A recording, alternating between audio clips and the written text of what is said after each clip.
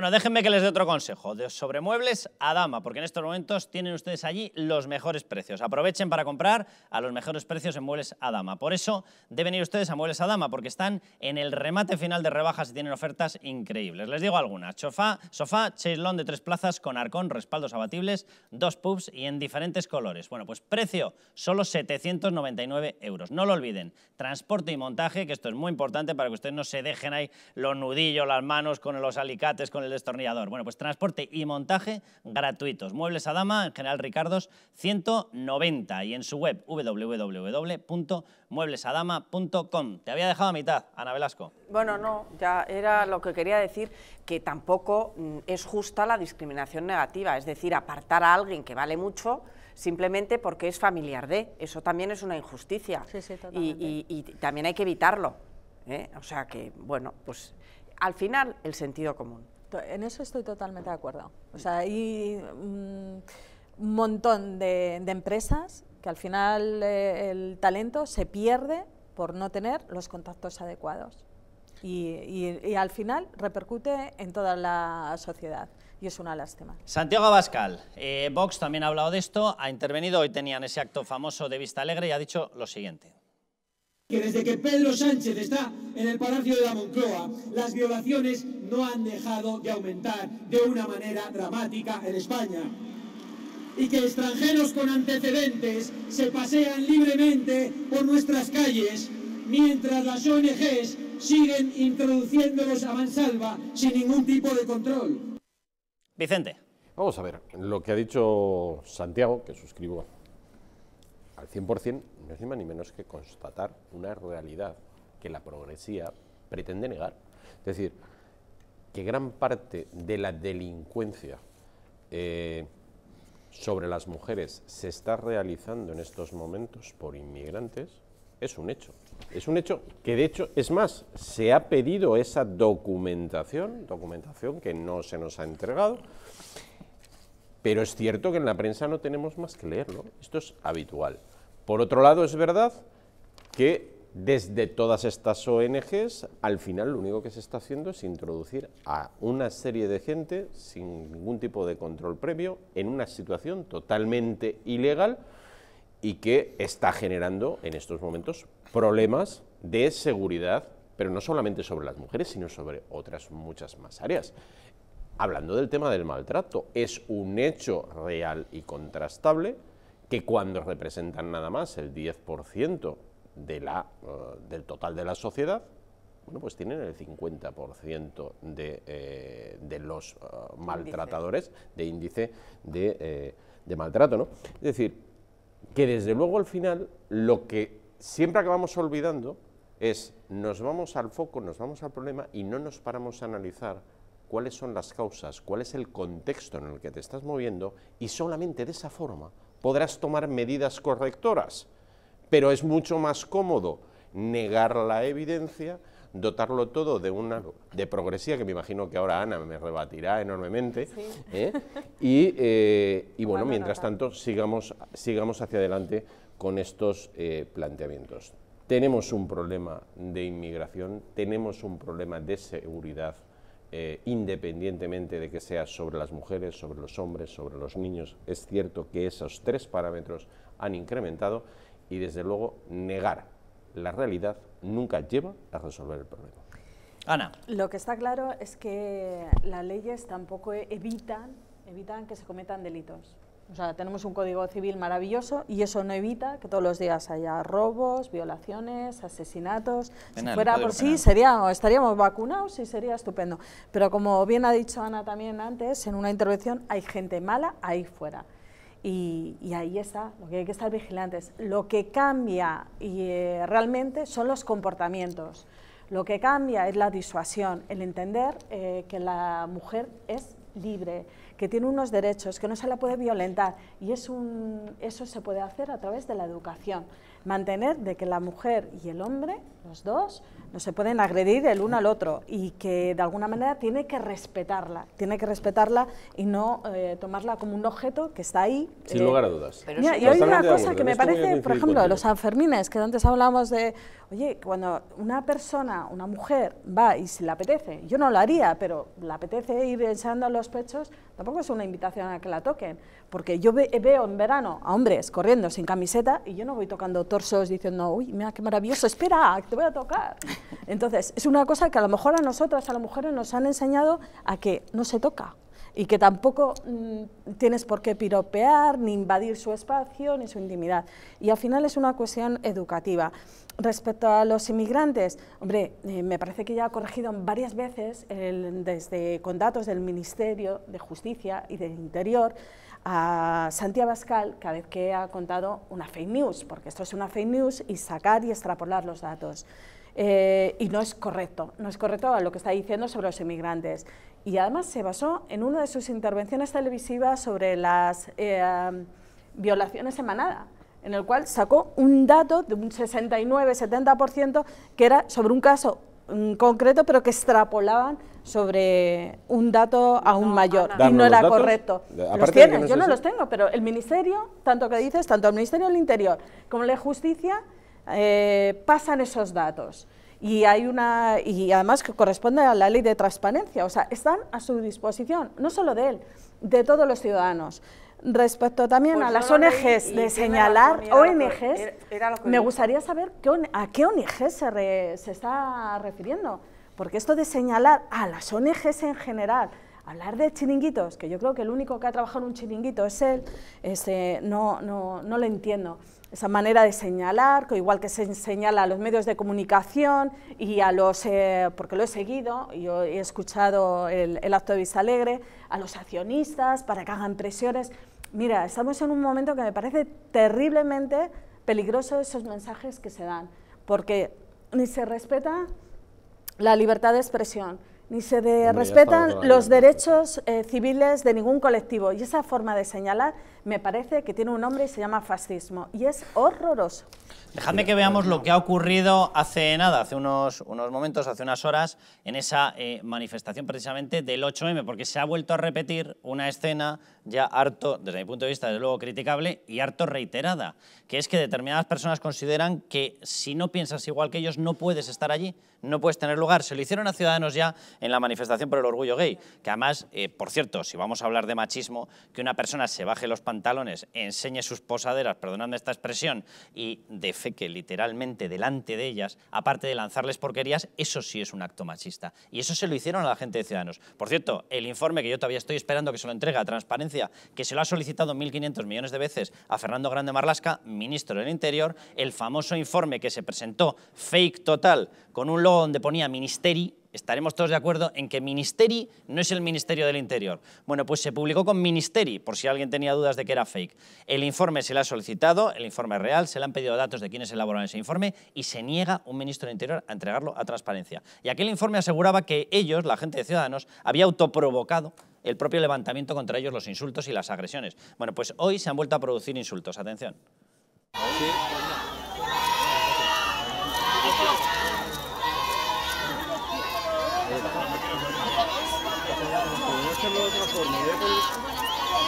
estamos en un día en el que nos sumamos todos aquellos que luchamos por la igualdad. Eh, no sé qué dirían si unos hombres se hubiesen puesto a gritar para que no pudiesen hablar unas mujeres. Bueno, pues lo hacían las feministas radicales. ah, yo reconocía ahí a Lorena Roldán, reconocía a Begoña Villacís, supongo que había más gente de, de Ciudadanos. Me parece lamentable. Lamentable es decir, o piensas exactamente igual que yo, o vete. Eso tiene un calificativo. Se llama totalitario. Se llama totalitarismo. O piensas exactamente igual que yo, o no te dejo defender una cosa en la que, además, supuestamente iban para defender lo mismo. No, no, es que no te acepto. Tú no eres de los míos. Toma ya con la ley de igualdad. Lamentable es lo que decíamos hace un momento, que hoy un día que tenía que ser de celebración para todos, lamentablemente al final se ha convertido en un día de enfrentamiento. Pero un día de ¿quién sacó el enfrentamiento decálogo entre unos y liberal otros. Perdóname, un día de enfrentamiento. Pero ¿cómo vamos a caminar para alcanzar la plena igualdad si ya nosotras mismas en la calle, como decía hace un momento Carlos, gritando para que no pudieran incluso hablar con los medios. Porque y ellas decir- mismas han querido perdóname, separar. o sea, Ellas el año pasado sacaron el decálogo feminista, Ana, Ana, feminista liberal. Ana, dime que no Vamos condenas, dejarle a Nadia. dime que no condenas lo que acaba de ocurrir. Perdóname, ¿el dime que ¿El no qué? ¿He condenas oído, lo ¿He oído un insulto? He dicho Fuera, fuera, fuera. Fuera, fuera. Pero eh, están en su eh, libertad de expresión de decir No. lo que Ah, quieran. No. O sea que Si echar fuera a otras mujeres, a otros, no eso es la igualdad.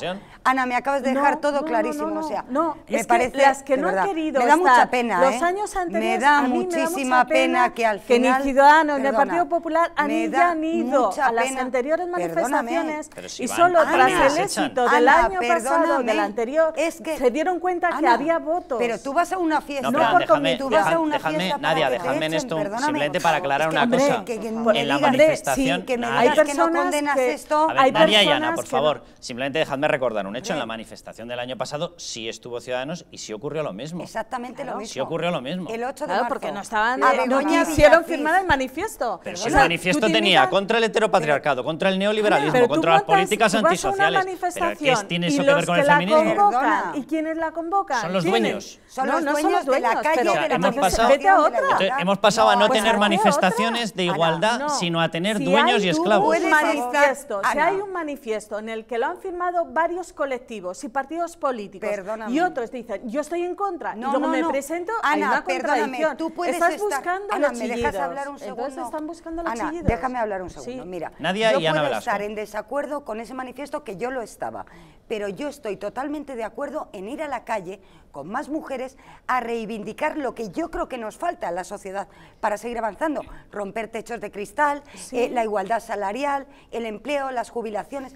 Pero ¿por ¿No qué? decías que no había nada Escúchame, que luchar Ana, hay antes? mu- No, perdona, me yo no he dicho que ya no había nada momento. que luchar, ya. Perdona, ¿por qué yo no puedo ir a la calle? ¿La calle es de izquierdas o de derechas? No, has dicho que ya no hay Perdona, nada que luchar. La calle es de Nadia, todos. Y de eh, todos si modos- quieres luego volvíamos para atrás, pero o por luego favor. escucha. No, no, voy a a ver, volver a el que entrar. ha dicho- Amiga, el que ha dicho que hay no una- había nada que luchar. El que ha dicho, a ver, no ha sido Nadia, intervenir. el que ha dicho que las leyes protegen por igual a todos soy yo y lo mantengo plenamente, pero eso no anula el derecho a que cualquier persona considere que sí que tiene que salir a la calle. Y lo que es de un totalitarismo, Ana, perdóname que te lo diga, Absoluto. es que tú digas, yo soy el auténtico feminista, yo no protesto. tú vete a tu casa, que tú eres poco No, menos no, que insignificante. claro, yo no he dicho es eso. increíble, de verdad. eh, perdona, No, de unas cosas que Ana, yo no he hablo de ti, que hablo de la Es manifestación, de lo que acabamos de que ver. tú no lo condenas, que lo Pero de si es decir, que las Carlos, personas, que no sean esas personas, pero que, que ¿Puedo los colectivos, Fuera, partidos fuera, políticos, ¿Puedo intervenir, que han, de- oye, eh, Ana cada Ruiz. vez que es el, el favor. 12 de octubre, llega el presidente del gobierno, la última, y al presidente del gobierno también se le dice fuera, fuera, eso también, y, y hay alguna manera que le Eso no es dicen una no, manifestación. Perdóname, eso no es una Ah, eh, manifestación, están- pero aún así te digo... están, Ana yo- Velasco, hombre, Ana yo- Velasco, O el vamos a día de dejar- la fiesta nacional solo es de la derecha. Ana, perdona. Vamos a dejar, Ah, vamos a dejar que dicen hable todo el mundo, por favor, Mira la Nadia. diferencia entre tú y Sí, yo. sí. Yo sí lo condeno. A mí Ah, no me gusta que ni al PSOE, ni a Izquierda Unida, ¿Sabes lo que pasa? ni a Que la fiesta nacional es de No, todos. me y dejáis eso es una manifestación con Esa es la diferencia. Ana Velasco. Por favor, ¿me dejáis hablar? Bueno, en primer lugar, Ana, has dicho que libertad de expresión es decir, fuera, fuera. En cambio, has llamado fascista a Santiago Abascal por utilizar su libertad de expresión y decir lo que opina de las cosas que están ocurriendo en España y por decir su opinión como representante de un partido Señalar. político. Perdón, Señalar. no he terminado, no he terminado. La, creo que ha sido el Tribunal Supremo el que ha absuelto a eh, ese actor eh, insigne que se llama Willy, Willy Toledo, Toledo. eh, por insultar gravemente y ofender gravemente los sentimientos religiosos de millones de católicos Es que los ¿eh? y, han no se dicho, recogen. y han dicho que eso es libertad de expresión. Han absuelto a los que insultan en Twitter a las víctimas del terrorismo. Y resulta que a Vox hace un mes que le han cerrado su cuenta de Twitter porque ha acusado y porque ha dicho que las charlas que se dan a los niños en los colegios sobre sexualidad se aproximan prácticamente a la corrupción de menores. Y le han cerrado la cuenta. ¿Qué está pasando aquí? Hay dos varas de medir y se está coartando la libertad de expresión de los que no comulgan con el pensamiento único que se nos No. quiere imponer desde este gobierno. y eso es no, gravísimo, no, gravísimo. no, no. Y te voy a Una decir más. cosa- a mí lo que ha dicho Ana, vamos a- y a mí a lo que ha dicho Willy. Toledo, ¿eh? como católica, me ofende tremendamente y me ofende todavía más, todavía más que el Tribunal Supremo le haya absuelto. Me parece que no puede haber, o sea, no comprendo qué argumentos han empleado Pues para decir que- que... a mí no me ha ofendido Willy Toledo. Pues porque me ha ofendido gravemente. en- porque y tú- me ofende tremendamente No, que se tolere, que se tolere, como se está tolerando, el trato que se da a las víctimas del terrorismo y cómo se consiente eh, que los terroristas campen a sus anchas y que se les hagan homenajes. Y eh, eso a todo el mundo para- le da igual. Vicente, Vicente, vamos a dejarle a Vicente que si no. No, yo voy, pobre no voy- voy habla. a ser muy breve. Eh, si tanta defensa de la igualdad hubiera, si tan objetivas y, y justas fueran todas esas causas que se reivindican, no habría ningún problema para que se pusieran de acuerdo. En el momento en el que lo que estamos hablando son de que una facción pretende imponerse a la otra. Estamos hablando de posicionamientos políticos. Estamos hablando del uso político, ni más ni menos, de una situación. Y además, volvemos un poco al principio, las formas también definen de quién vienen y al final los que acaban en pro de esa falsa libertad de expresión, comportándose, en este caso sí, como auténticos fascistas, acaba siendo siempre la izquierda radical frente al resto. Tónica que es común en esta legislatura desde el minuto cero. Ana. Eh, a ver, posicionamiento político no. Eh, está dividido porque eh, desde la- eh, los movimientos de izquierda, y los partidos de izquierda progresistas, se ha esperado a la derecha y bienvenidos al feminismo. Y cuando No, no, a mí- a mí- a mí por no me esperes en ya, eso, ¿eh? Bueno, ya, pero es mi reflexión. Ah, bueno. En cualquier caso, eh, y cuando se han incorporado, lo han querido etiquetar de mil y una maneras, y luego no estando de acuerdo, y por eso viene el enfrentamiento. Pero hasta ahora el feminismo no ha tenido ningún problema de división. El feminismo ha conseguido el voto a la mujer, el feminismo ha Luego conseguido... nos cuentas lo de Izquierda Unida también. El feminismo, sí, lo te lo cuento. Ah. El feminismo ha conseguido que la mujer eh, tenga educación y pueda acceder a las carreras superiores. El divorcio ha conseguido también que puedan utilizar anticonceptivos, cosa que desde la derecha se veía, eh, o, o incluso el divorcio que era que se acababa con el mundo. Pues eso es gracias al feminismo y a gracias... ¿eh, ya, ya lo sé, pero, es pero la lucha, la Claro, lucha y las que UCD, posiciones... UCD era un partido bolchevique. No, Madre no, pero la lucha y hombre, si no estuviera, si no estuviera, si no estuviera, si no estuviera la reivindicación en la calle, eh, UCD no lo hubiese el Es que, aprobado. es lo no del Partido Socialista es maravilloso. si la prueba, si la prueba, no, ya, pero vamos a ver, es que lo que no podemos decir determinadas cosas que van en contra de una No, cronología fáctica. Si la prueba el. Partido Socialista, las medidas son del Partido Socialista. Y si la prueban los demás, es porque el Partido Socialista estaba insistiendo. Ergo el mundo es mundo porque había un Partido Socialista, Ana. eh, La ley del divorcio, la ley del divorcio es de UCD. Carlos, ¿tú me has oído decir Partido Socialista? Creo que ver, no. la ley del He divorcio es de UCD. larga- No, he dicho, Sí o sí. las reivindicaciones de feministas, feministas han sido las que han colocado esa lucha en la calle. Que luego lo haya recogido un partido u otro me da igual. Quiere decir que esa lucha ha estado, ha estado presente y para que lo saque un partido político en concreto necesita un consenso en la Cámara, es decir, eh, necesita una mayoría. Y si, en esa, y si no tiene esa mayoría, difícilmente lo va a poder ¿Te sacar parece, el Partido ese Popular, partido. ¿Te parece que el Partido Popular defiende ese avance? Yo creo que sí, porque Ah, vale, de momento ahora sea. tiene a Vox enfrente que le está diciendo que es socialdemócrata. Pero déjame, yo déjame creo que, hay te haga una pregunta. cosas que sí. ¿Cuál, de todos esos derechos reconocidos, que yo creo que los defendemos absolutamente todos, combate Vox? Ninguno. Pues, hombre, No, no, pero, hombre, pero dejadle que responda ella. Claro. Ana. Yo, creo que no, o sea, se rompe la familia, el, todo lo que es el espíritu, le- creo que el, el divorcio, eh, no están de acuerdo, pese a que tiene ¿están en varios fundadores que están divorciados. Pero Hablan ¿cómo que de está la familia? Si cristiana. Santiago, si Santiago Abascal está divorciado, a la mujer Pero bueno, hoy, hoy mismo están hablando en contra del feminismo, pues me parece No, que No, no, están a favor mi de pregunta, la mi pregunta no es sobre sentimientos. concreto, Mi pregunta es sobre leyes. Y la pregunta es muy básica. De todos los derechos reconocidos a la mujer, ¿en cuál de ellos tú ves en contra a Vox? ¿Cuál de ellos combate Vox? Eh, la igualdad eh, a la hora de llegar a un puesto de trabajo, la igualdad de Si está educación, la igualdad de feminismo derechos, está en la contra de la igualdad. Ah, o sea que es que el feminismo ¿Qué significa... es igualdad? sí. Es que he dicho, feminismo es igualdad. Pero vamos es un a ver, que la movimiento pregunta, sobre que la igualdad de pregunta hombres es y si mujeres. vos- que la pregunta es que cuál de esos si derechos está en la contra Vox, esa es la pregunta. Pero mi, pre- Y tú me has respondido, respuesta si es... Vox no es feminista está en contra. Hombre, si No, todos pues no, esos- no lo está. Pues sí, sí. ¿Pero en cuál está en contra? Dime uno. Pues si, si es que te- en todos, o sea, si es ¿En que no todos? quiere ¿Está en tener a la mujer. ¿Cómo Pues que no, lo no? sé si estará en no contra está del en contra. divorcio. ¿A Mira, cuál yo está en contra? Pero no quiere que las mujeres, además está diciendo, no pu- tiene por qué haber, ha dicho Vicente, discriminación negativa. Pues no, oye, no, estamos en no las mismas condiciones de igualdad.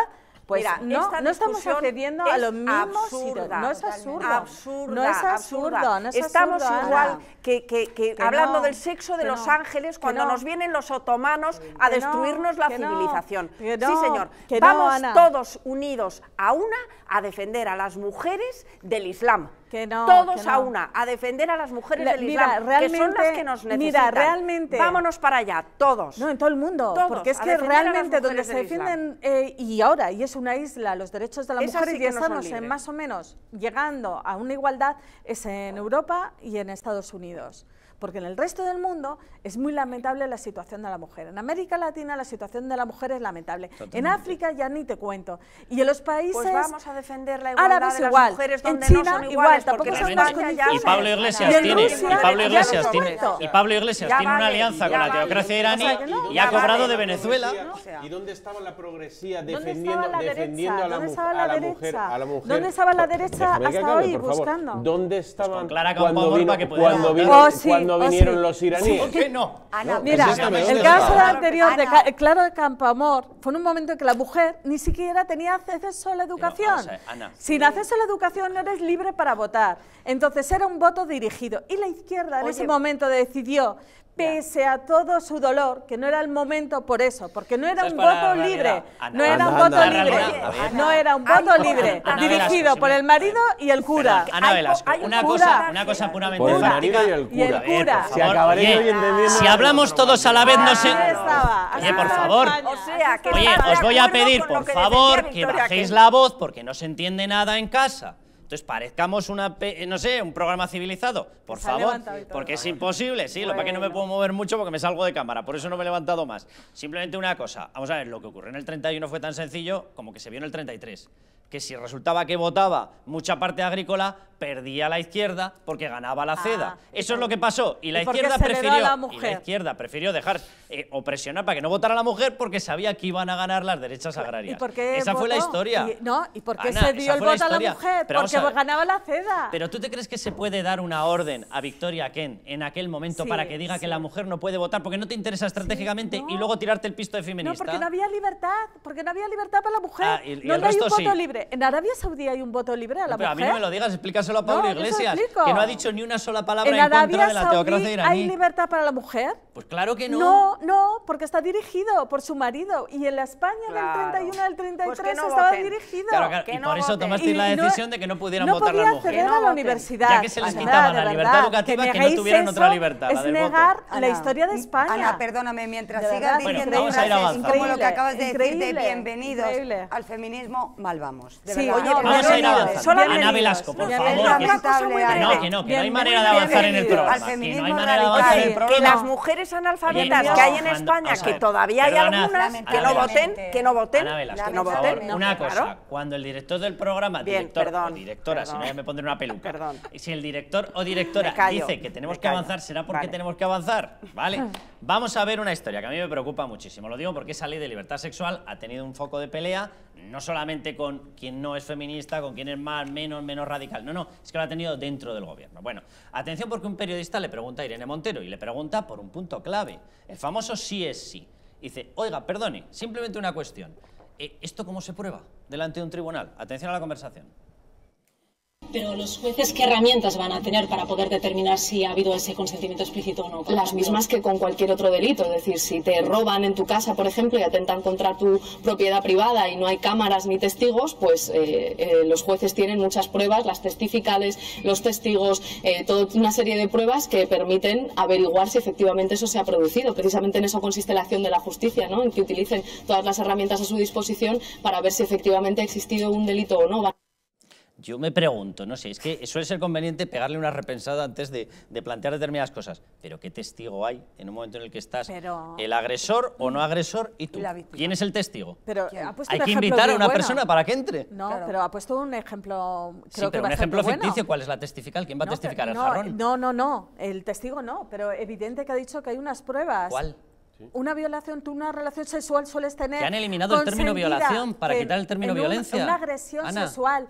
Que, eh, Ana, una que esta es la norma que ha quitado la violencia, Ana. Te intento contestar. Que sí, pero vamos a ver, pero, pero vayamos por A un ver. sesgo que respete lo que es la norma. Ya. La norma ha quitado, lo acaba de explicar Irene Montero, lo Sí, hemos mostrado antes en el programa. sí. Ha quitado la violencia, ergo, en ausencia de violencia y en ausencia de testigos, porque yo No. no, no me imagino yo una violación con grada, la verdad. Pero bueno, oye, alguna habrá, pero yo qué sé. O sea, la cuestión está en que en ausencia de testigos y en ausencia de violencia, ¿cómo testificas tú? ¿Cómo pruebas? ¿Qué tipo de prueba tienes? ¿Qué pericial tienes para saber si ha dicho sí es sí 13 veces durante el acto sexual? A ver, lo que ha quitado es el abusa, eh, los términos de abuso e intimidación. Pero si hay violencia, evidente, claro que hay violencia.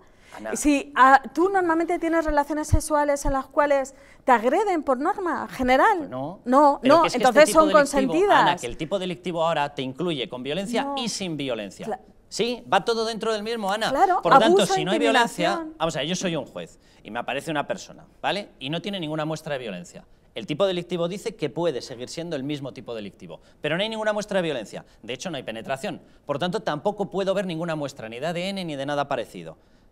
¿Cómo pruebo yo algo? Y me dicen, la testifical, ¿la de quién? ¿A quién le pregunto? ¿A la pared?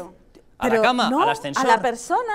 O sea, y tú Perdona, eso es un normalmente- testigo frente Ya, a otro. Pero vamos a ver, pasa en una, una calle, solo estamos dos personas y a mí me roban, o no me roban, digo que fulanito me ha robado, entonces ¿en qué se basa? Es que estás- vamos, estás es diciendo la clave, estás la diciendo la clave, mayoría Ana. de la gente no, tiene Ana, por norma... Estás diciendo la clave. no, lo, eh, que dice, no. lo que dice Irene Montero es que esa ley tiene que dar prioridad al denunciante y dejar totalmente inválido al denunciado. Lo acabas de explicar Lo- perfectamente. no, por eso mismo, por norma, las personas no estamos en los juzgados eh, las 24 horas. No estamos denunciando cosas. Perdóname, la- No, una denuncia, una no. violencia por violencia No. machista sirve para quedarte la No. custodia de los hijos. Vete a un tribunal y lo verás. No, mira, Vete a un juzgado y lo no, verás. antes era muy normal que pedían para un divorcio, que se diera una causa para un divorcio. No hablamos y de hoy, divorcio, hoy, Ana. por, No, hoy en día no se tiene que Ana. poner ninguna causa para un Ana, divorcio. que no estamos hablando de divorcio porque en el divorcio Sí. no necesitas causa para nada. Te divorcias cuando te da la santa gana en España. Pero es otra de las cosas que no hay que ganar ningún derecho porque ya Pero está el mira, derecho de todas las maneras, en todos los juicios no hay ningún juicio igual, ni hay ninguna causa que sean simétricas. Ana. El juez es el que va a valorar eh, el- Ana, cada la una. periodista, de la forma más inocente, Sí. le ha pillado a Irene Montero No, en una barbaridad de tal calado que tumba toda la norma.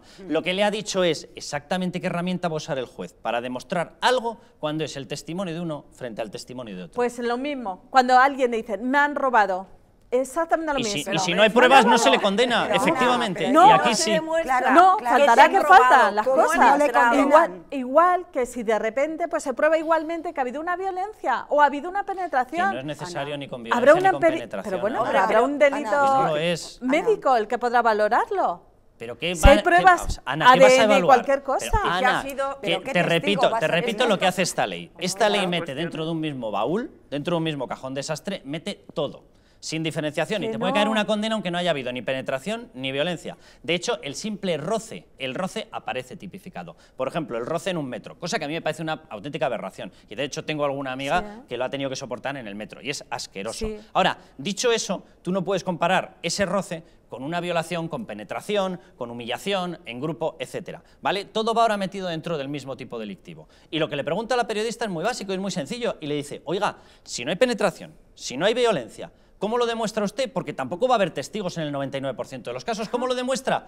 Irene Montero no contesta nada. Se va por peteneras. ¿Cómo puedes lanzar a los tribunales españoles La una norma así? Mira, te pongo, lanzarla. te- pongo otro caso, Carlos.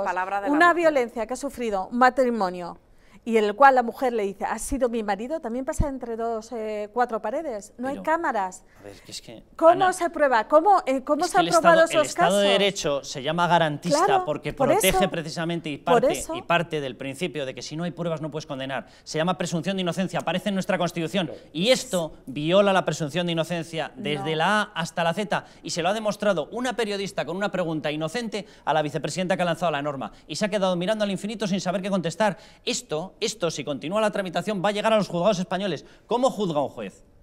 ¿Cómo juzga un juez? Mira por la ventana y dice, a ver, hoy que No, toca. no. Pero ¿cómo juzgas? Que no, por lo mismo que te he dicho. Y lo que te he dicho es que esa ley lo que mete en lo mismo es que no hay diferencia entre abuso e intimidación. Es la única diferencia. Pero vamos, que no haya violencia, pero ¿qué me estás contando, Claro Carlos? que va a haber condenas Que sin no. violencia, es que lo pone en el tipo. O sea, y de hecho, Claro, ojo, y a mí es que me parece porque no correcto que las haya. entre abuso e pero tienes que tener, claro que tienes que tener una descripción de cuáles son las pruebas en Pero las que se va a apoyar juez- el juez, porque si no va a ser una barraca, el va a ser una juez- lotería. No, el juez va a determinar si va a ser un delito y tendrá, no será lo mismo por el delito por X años si es una cosa u otra. Va a ser el juez, como en Vicente. tantos otros casos Ana, que es, tiene que normal que el valorarlo. es normal que los propios ministros estén levantando la voz y diciendo... ministros socialistas, y por cierto. diciendo, para, que no sabes dónde estás caminando. Y es normal, porque es un despropósito. Esta ley es que no va a pasar ningún... Vamos, no va a pasar No. ningún trámite. No, porque va a ser... No, no, es que parte, lo digo, que lo va a parte de una base que no es legal. O sea, que la presunción de inocencia, que es lo que estamos hablando. ¿Y dónde se queda que la no víctima? tiene- ¿Cómo ¿Dónde se la queda Que tú das víctima? por hecho que es si víctima. no Ana, es si víctima, das Es que en el juicio se decide claro, si es ¿dónde víctima o no. Es que es tú un juez de el la que tiene que víctima. decidirlo. No, te estás olvidando de la víctima. Y si no es víctima, Ana, cada a la vez ¿Y si no es entiendo víctima? más Claro. a los Ah, ¿y ministros si no lo es? ¿Y si no es? ¿Y si no es? Pues eso es lo que tiene que determinar Ah, un ya juez. pues ya está, pues volvemos a probarlas. lo mismo, es el juez Y no hay pruebas para determinar, determinarlo. Porque todos los casos son diferenciados, no hay ningún caso Hay que igual. probarlo. Para eso existe un juez. No puede ser que valga más la palabra de una persona sobre que- la de y- otra. Y el No abogado defensor, para eso está la figura del juez. Vicente. Cuando- Vamos a ver, si es que es- al final lo que acabamos por no entender es que tanto si ha habido una persona que ha sufrido cualquier tipo de abuso, como si en ese caso sería víctima, pero si es una persona a la que le cuelgan un delito de ese índole sin ningún tipo de prueba, la acabas convirtiendo en víctima. Y yo ahora te voy a decir algo, lo que no podemos partir es que todos los hombres somos violadores y que todos los hombres somos maltratadores. Y eso, y eso se genera, permíteme por favor, y eso se genera porque hemos vulnerado en estas dos leyes, concretamente, la presunción de inocencia. Y al parecer la izquierda lo que quiere es traer, si esa nueva forma o esa nueva conceptualización que pretende hacer es cargarse la presunción de inocencia para culpar a quien no corresponde sin las debidas garantías, vamos muy mal. ¿La ley dice que todos los hombres son violadores o maltratadores? No. Habla de personas que cometen delitos. Muy bien. personas que cometen Sigue, delitos. avanza. Ya está. Y Ana te ha dicho, hombre, normalmente eh, eh, todos sabemos lo que es una violación.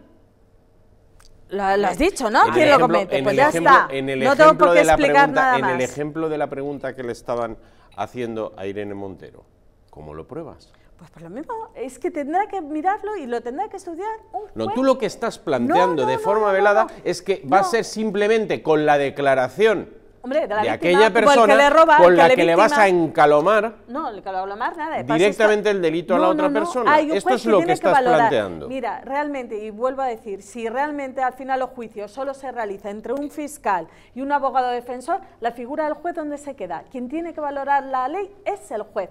Y no hay ningún caso igual. Menos mal ¿sí que creo que no va a llegar si absolutamente a ningún sitio. No, va a llegar, va a llegar. Dejadme que veamos que hemos recuperado una frase de la que estabais hablando. La famosa frase de lo que dijo Pablo Iglesias cuando eh, la mujer que subía en un cargo era la mujer de otro. Y en aquel momento no le parecía tan bien. Atención, Pablo Iglesias.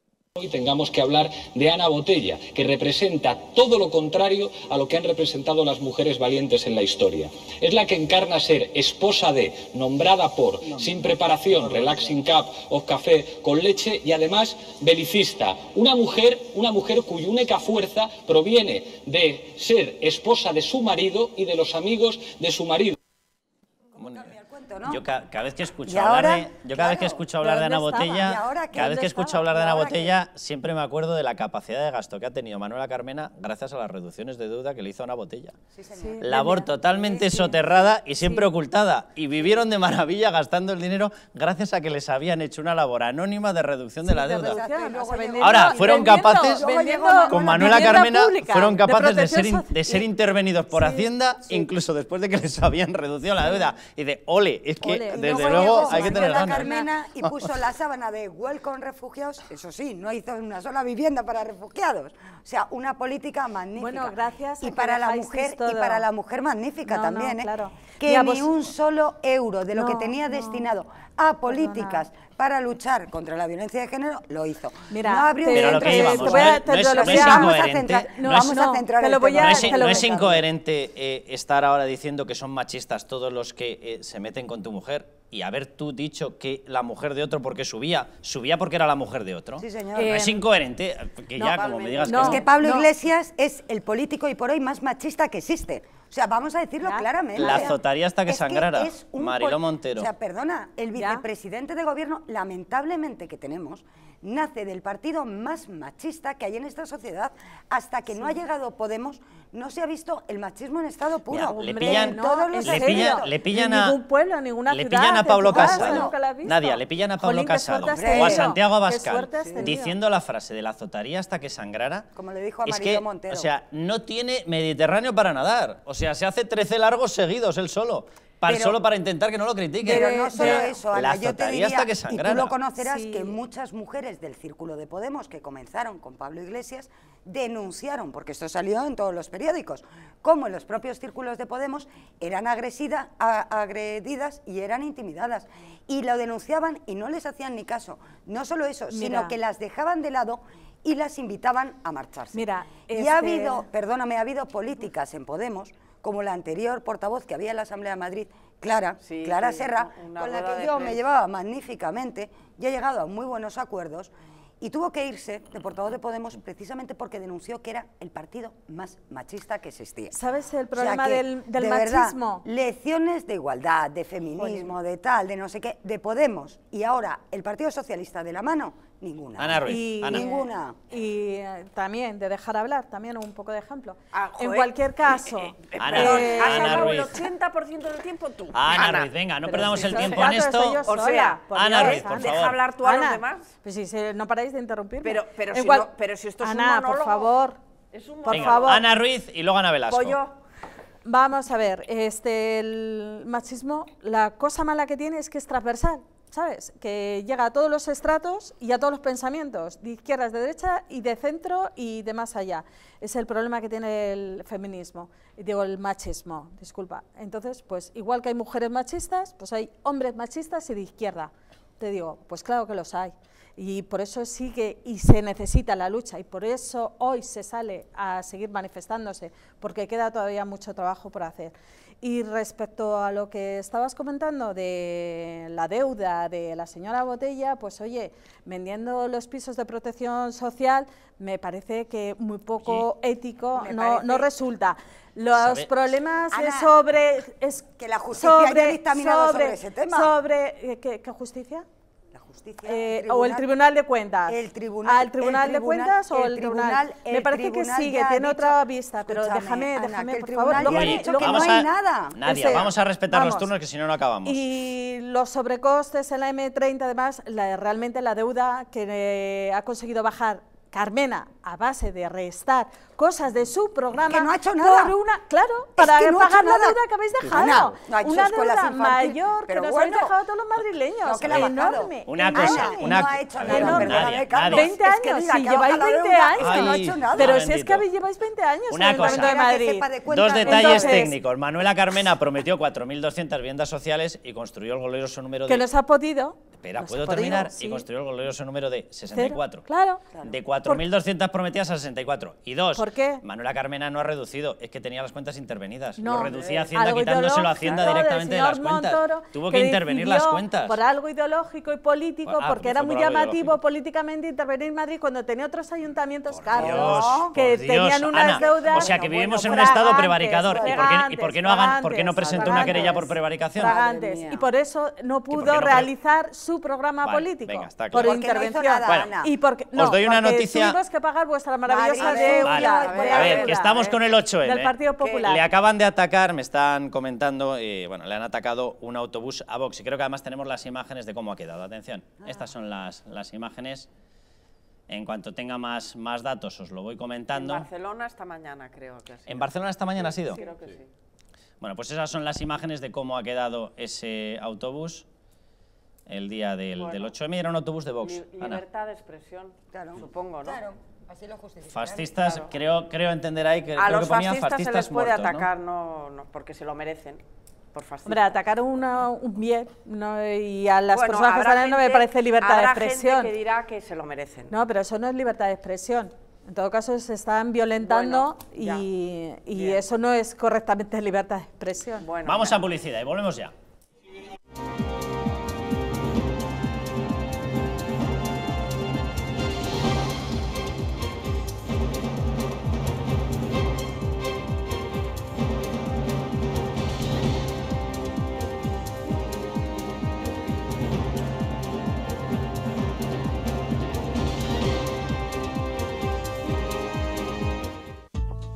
La presencia del colágeno en la composición de huesos, piel, ligamentos, cartílagos y tendones es imprescindible para frenar su deterioro. Sin embargo, a medida que envejecemos, su producción se reduce. Colacel Antiox de Mundo Natural combina en una misma toma colágeno hidrolizado puro, antioxidantes, ácido hialurónico y vitamina C que contribuye a la formación normal de colágeno. Haz del tiempo tu gran aliado. Colacel Antiox. ¿Está hundido tu colchón? ¿Estás cansado de tu viejo sofá? Ven a Muebles Adama, te fabricamos tu sofá o tu colchón a medida. Y no se te olvide preguntar por el dormitorio juvenil de tus hijos. Recuerda que tenemos descuentos especiales en muebles de salón.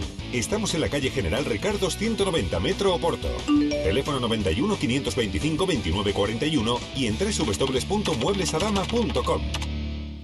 Un estilo de vida saludable, la dieta y el ejercicio físico ayudan a disminuir los niveles de colesterol. Divecol Forte de Mundo Natural contiene cardo mariano, coenzima Q10 y levadura de arroz rojo que aporta 10 miligramos de monacolina K que contribuye a mantener niveles normales de colesterol sanguíneo.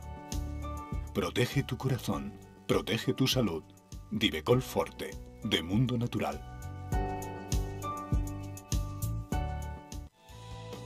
En Alurin Clinic la medicina se convierte en cuidado y belleza gracias a nuestros expertos médicos estéticos y cirujanos plásticos. Escuchamos al paciente, diagnosticamos y ofrecemos las mejores soluciones médicas adecuadas para cada caso.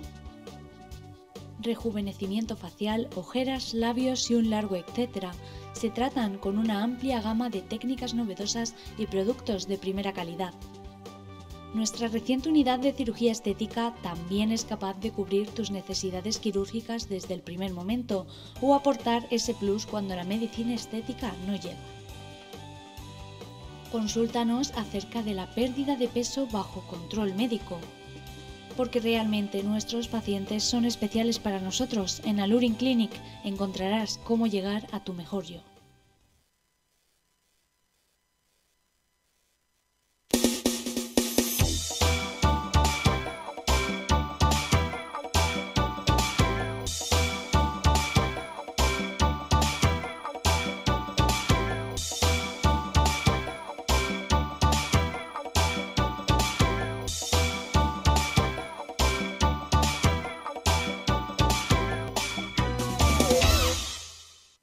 Auténtico templo de la cocina asturiana en la capital de España.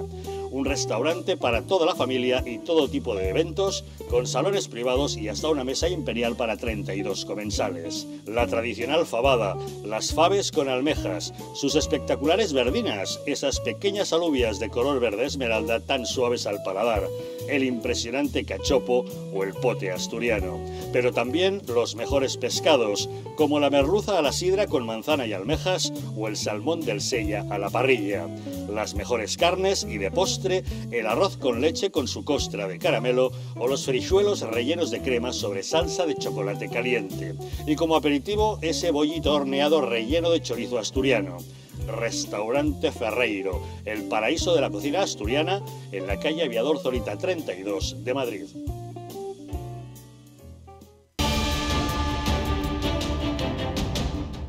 ¿Estamos en un auténtico Estado democrático o estamos en una pacitocracia? Porque este programa se hace para ustedes.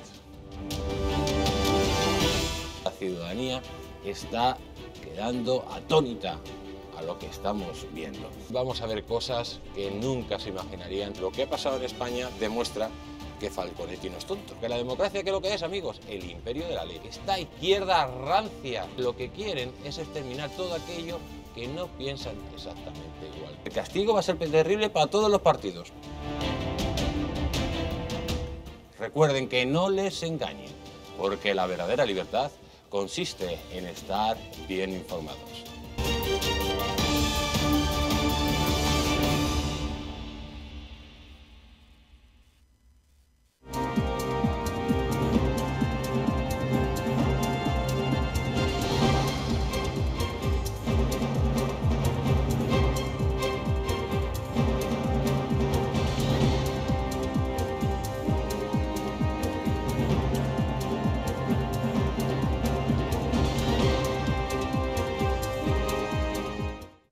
Bueno, pues Pablo Iglesias, que ya ha recibido el jarabe democrático, así lo llamaba él, mientras los demás lo criticábamos. El respeto a la gente está por encima de, de- cualquier otra historia porque es perfectamente combinable con cualquier libertad. Y desde luego cuando algo se convierte en que te quitan tu derecho a hablar, se llame Rosa Díez, se llame cualquier persona, se llame José María Aznar, se llame quien sea, se llame Pedro Sánchez o se llame por supuesto Pablo Iglesias, pues no, eso ya deja de llamarse libertad de expresión. Estás atentando contra la libertad de exposición de otra persona. Pero a él le gustaba. Ahora vamos a hablar de eso porque ha tenido uno de determinado colectivo obrero. Bueno, y ha, sufrido lo que él denominaba jarabe democrático. Pero ahora vamos a hablar de ello. Déjenme antes que les dé un consejo, un consejo que se llama Divecol Forte. El principal riesgo de tener elevado el colesterol son las enfermedades cardiovasculares. Hay ciertos factores que incrementan el riesgo de padecerlas. Algunos no son modificables, como nuestra edad o los antecedentes familiares. Sin embargo, hay otros sobre los cuales podemos actuar si mantenemos una dieta y un estilo de vida saludables y si realizamos ejercicio físico con regularidad. Divecol Forte de Mundo Natural es un complemento alimenticio que incorpora la coenzima Q10 y el extracto de cardo mariano, así como levadura de arroz rojo. Y es que está demostrado que una ingesta diaria de 10 miligramos de monacolina K procedente de preparados fermentados de arroz de levadura roja contribuye a mantener niveles normales de colesterol sanguíneo.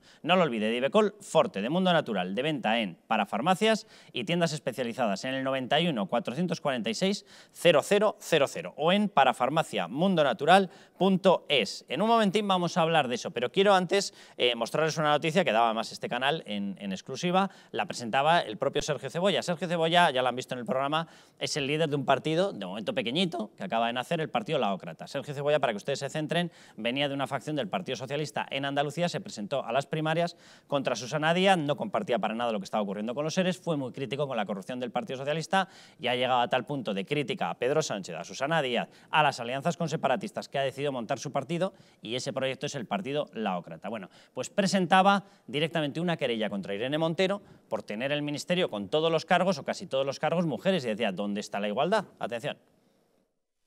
Han tardado 15 días en hacer los nombramientos y han metido eh, de remanguillé a tres hombres de 14, que es el conjunto de los nombramientos y altos cargos del ministerio, de 14, tres hombres. Y eso supone el 21% y no cumple la ley que habla muy claramente en su disposición adicional y en eh, diversos artículos de, la ley que tiene que haber un 40-60. Entonces, es romper de un modo a sabiendas, porque en declaraciones de la propia eh, ministra decía que ella quería que eh, fueran solo mujeres y nosotros estamos de acuerdo que sean solo mujeres y son las más preparadas y tienen la mejor preparación, pero la ley hay que cumplirla y es para todos.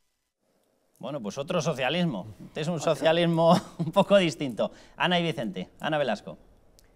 Bueno, pues bien, si la ley no se cumple y, y quiere reclamar, pues que reclame. Yo creo que es un poco un gesto, pues un brindis al Es sol. querella, ¿eh? directamente. Es denuncia, perdón, creo que es denuncia. Denuncia.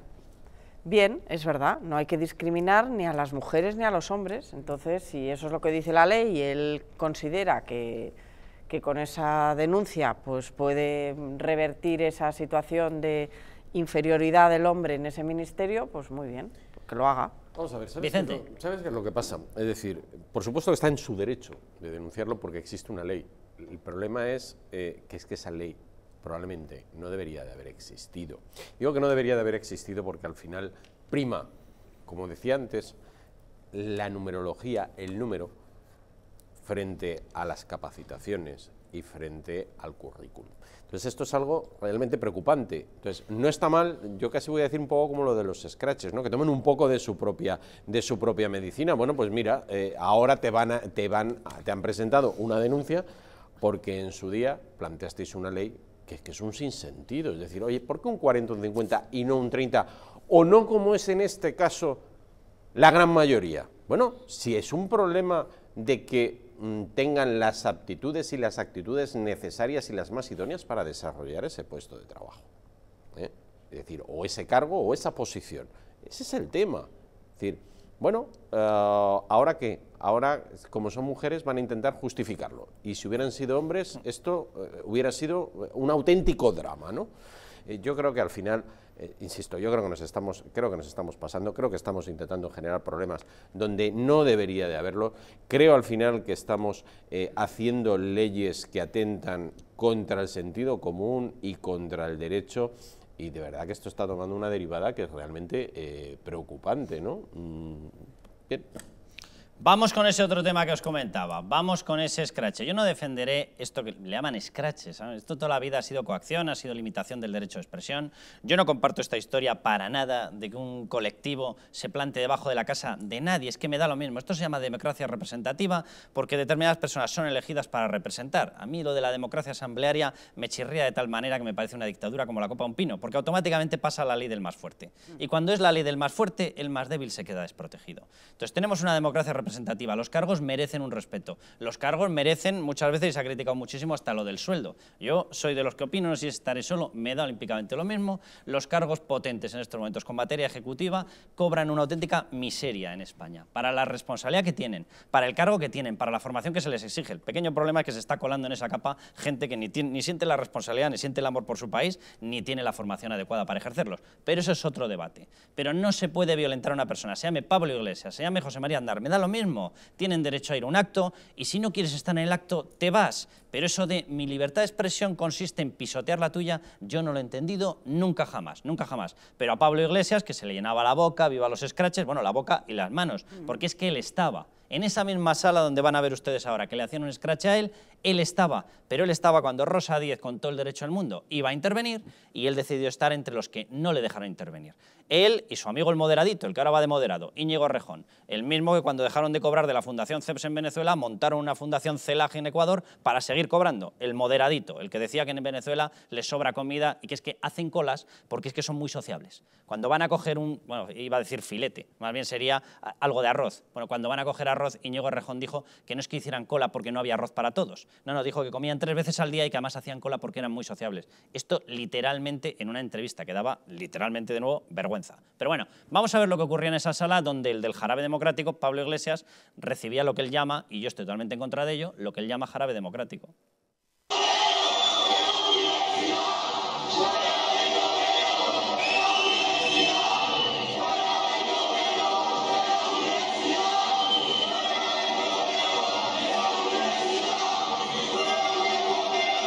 No te he escuchado a ti, compañero.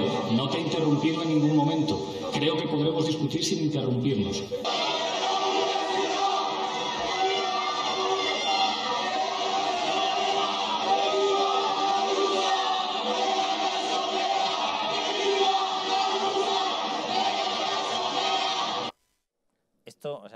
Literalmente es llevar la política al absurdo y es llevar la interpretación de los derechos al absurdo. Pablo Iglesias se cree que queda muy bien diciendo esto de no te he escuchado, compañero, pero, eh, pero ¿qué esto que va de cachondeo? ¿Qué vas a escuchar a los 50 que están gritando No, turno por turno? ¿Y entonces la conferencia en qué consiste? Perdona, Carlos, nosotros que- desde el Partido Popular, quiero dejarlo muy claro, condenamos absolutamente los scratches de iglesias y contra iglesias. Y lamentamos muchísimo que sus exalumnos pues hayan aprendido del maestro. Y es lamentable. Vendeobreros Y- le llamaban. Y es lamentable que los alumnos hayan aprendido del maestro. Por eso desde el Partido Popular nuestra rotunda condena. Siempre lo hemos dicho. Sea de contra quien sea y venga de donde venga. El Siempre que siembra es vientos, mucho- el que siembra vientos recoge tempestades. Y al final, pues estos, estos chicos eh, lo, que, lo que hacen de una forma equivocada y violenta es reflejar su frustración porque ellos esperaban algo que no, que no han visto reflejado en la realidad. Es decir, este individuo pues les ha defraudado, les ha defraudado porque ahora consideran que es uno más de lo que de ese término que él se inventó que era la casta. Entonces, han aprendido la lección, como muy bien Los tú alumnos. dices, claro, y, y se lo dicen de la manera en, bueno, en la que él lo hacía. Es pero que no, eso no es que se aprenda, esto ha asistido, asistido a lo largo de la historia. En cu- cualquier caso, siempre es mucho más enriquecedor abrir un buen debate o hacerle las preguntas oportunas después de iniciar eh, la charla, como se ha hecho siempre en esa universidad que es la mía. Eh, yo sí que he visto el corte al completo, el total, y el- son dos chicos el que le, Sí, le increpan, son los que les interrumpen y el resto están eh, pidiendo a esos dos chicos que les dejen continuar. No es el corte, sino los dos chicos. Les llaman fascistas. Sí, les están diciendo que dejen hablar, porque son dos chicos que supongo son de Red Skin o alguna de esas. Bueno, no sé, en cualquier caso, eh, les están pidiendo el resto de estudiantes que dejen finalizar y Pablo Iglesias les dice que les, que, que les hagan la pregunta que quieran. O sea, que él no va a pedir que se los lleven, sino que, que les hagan una pregunta. Y les eh, llevó un micrófono para que les hicieran las preguntas. Y ahí estuvieron eh, el chico pues diciendo lo que tenía que haber hecho sin tener que violentar. A Yo también estoy de acuerdo. Yo Ana, prefiero que un buen debate. Me hubiera gustado mucho que esto mismo que comentas tú ahora mismo, lo del micrófono, lo hubiera hecho cuando precisamente fue el Sí. hacer el scratch Vamos a verlo, Rosa. Sí, que Díaz. siempre es mejor Vamos hacer a un buen verlo. debate. Que podía haber pedido el micrófono. Vamos a verlo, Sí, Vicente, total, sí, y nos sí, lo sí. comentas. Atención, el momento en el que él no era el que sufría este tipo de comportamientos, sino que él era el que los lanzaba.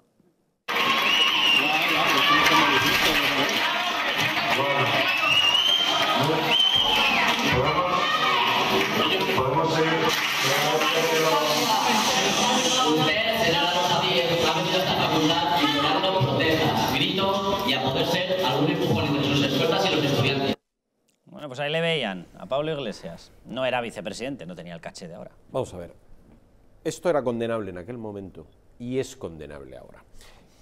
Y esto es lo que la izquierda no ha entendido, porque no es el primero eh, que le pasa esto después de haber apoyado y participado en un montón de scratches. A mí me viene ahora a la mente la señora Mónica Oltra, que ha participado en un montón de scratches y luego cuando se lo hicieron a ella, bueno, mm, aquello era lo peor del mundo. No, insisto, es condenable en todo momento y a lo mejor ya no les vendría mal a que desactivaran este tipo de cauces de su reivindicación política, se centraran y empezaran a dialogar, cosa que, como vemos, no, no acostumbran. Hay una cosa muy peligrosa que es eh, quitarle la dignificación que tienen que tener los cargos públicos. Es peligrosísimo porque nos cargamos la democracia representativa y si todos, 47 millones de personas, consideramos que tenemos que tomar la decisión sobre cada artículo de cada norma, eso se llama jungla, lo siento mucho. Sería imposible sacar adelante ninguna ley. Pero bueno, unos defendemos este sistema, otros decían que lo iban a saltar y decían que todo, perdón por la expresión, la misma mierda es y este tipo de cuestiones, ahora se encuentran ellos con eso. Pero bueno,